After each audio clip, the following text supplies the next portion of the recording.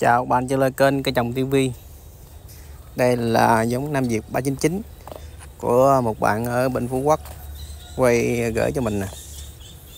Đây là hái được 8 ngày. Đó, Hàng trái còn gì nè.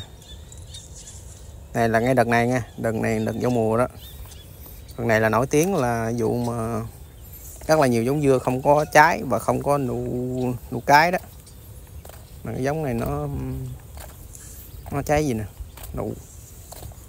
Chung thì theo như mình định thì nó um, giống này mạnh nha. Nụ nụ cái nhiều. Còn cái mùa đông xuân hoặc là tháng 9 tháng 10 thì cái cái cái, cái vụ nắng thì nói chung là vụ đó thì khỏi bàn. Giống nào cũng nụ nhiều hết. Còn khi mà gớt vô cái thời điểm giao mùa này nói chung là rất ít giống. Nó ra nụ cái nhiều hơn nụ đực thì đây là Nam Việt 399 này, bên Phú Quốc, hái được 8 ngày thì à, bạn nào trồng á, trồng à, Nam Việt 399 á, thì liên hệ với à, số điện thoại của mình.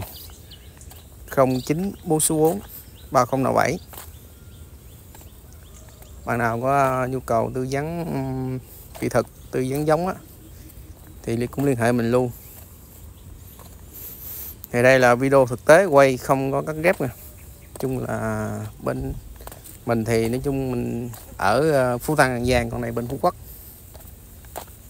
Ừ.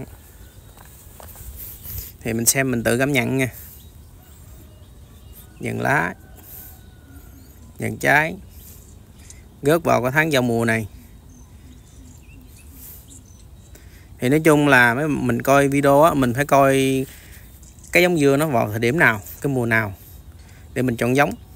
Chứ không phải mình thấy cái video đâu, mấy tháng trước mà mình coi á, bây giờ mình trồng á, thì nó không có không có kết quả được. Mình phải coi video thực tế như như của mình vừa đăng lên là phải ngay thời điểm này. Thời điểm này là thời điểm giao mùa, mưa nắng thất thường, thì cái dưa nó bị không có được nói chung là không được bình thường đó, nó sẽ bị bông đực nhiều hơn bông cái. Thì bạn này cũng có xử lý ra qua đầu trái đó. Hái được 8 ngày nha.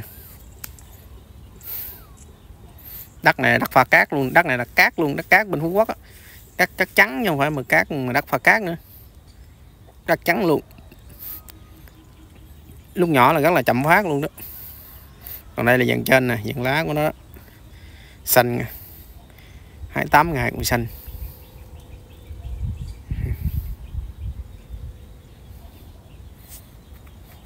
nói chung mình tự cảm nhận và tự đánh giá. Để mình uh, quyết định mình chọn cái giống nó hợp lý thôi. Chứ mình thì có rất là nhiều giống. Hoa sen nam việt ngọc long châu.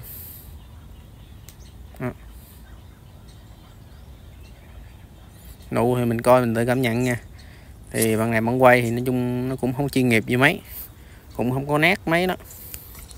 Mình coi, mình cảm nhận là mình biết rồi đó. Thì nào có chồng thì liên hệ với mình nha. Thôi, tạm biệt các bạn nha.